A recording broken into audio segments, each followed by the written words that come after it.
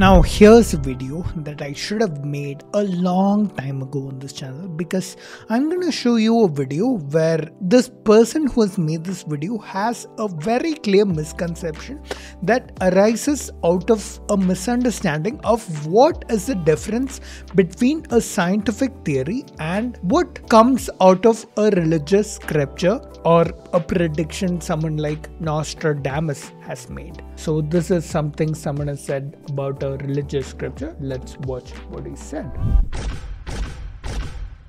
Numerous cosmological concepts are present in ancient Hindu texts, as are the notions of moments of heavenly bodies and the course of the year. In ancient Hindu texts, there's a concept of Aditi. It is referred to as the infinite light, the origin of divine powers, and the vast cosmic intelligence in which knowledge and force exist. It is the past and the future and is mentioned more than 250 times in Rig Veda. As Aditi, she is an unbound free soul, just like the light out of the Big Bang, just like the ever expanding universe. The new James Webb telescope has presented numerous different images of the most distant galaxies in our observable universe. The telescope can help us see what happened right after the Big Bang. It can help us time travel. Maybe just maybe we can see Aditi and prove yet another Vedic concept of infinity using this telescope. Thank you. Maybe, just maybe, before we get ahead of ourselves, let's understand what's the difference. So, now what's a scientific theory? Take Einstein's relativity.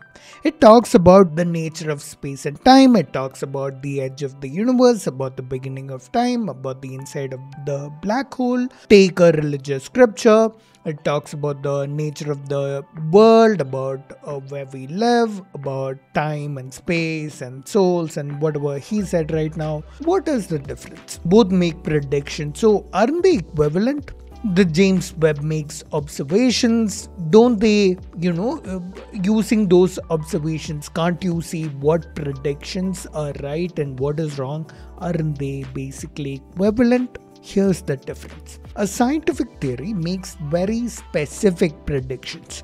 A religious scripture makes very vague predictions. A scientific theory is so specific that if it says this one thing will be observed, and if something else is observed, then this is proved wrong. It's falsified. In a religious scripture, it's so vague that no matter what is observed, it can never be proved wrong. It's always only proved right because no matter what is observed, it's always interpreted in such a way that what is observed is is matching with what has been said in the scripture. For example, here he said, hey, this concept of um, Aditi is something about the infinity of the infinite soul, the unbound soul, talks about, you know, the ever expanding universe and the distant uh, edge of the universe, the galaxies and what whatnot. And that's what the James Webb has observed. That's what he said, right? So that's the thing. These religious scriptures and these predictions are unfalsifiable. Whereas scientific theories, the most basic thing is that they are falsifiable. This misconception is a misunderstanding of falsifiability when something is scientific, it has to be falsifiable. You can only expand your knowledge if you make predictions that are falsifiable. Because only when you observe things and they don't match your predictions, can you say, hey, the predictions were right or wrong? Because if you can only say they're right, then it's not a prediction at all, right?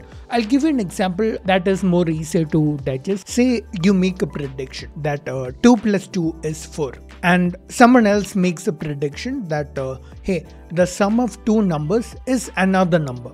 Now, which prediction do you think is more specific? The first prediction right? Say in future you make some calculations and you discover that 2 plus 2 is actually 5 you proved the first prediction wrong but the the second guy you actually you can actually never prove wrong with an observation like that right? You are currently with this James Webb telescope only making observations that can prove right or wrong the first guy. You can never say anything about the second guy right?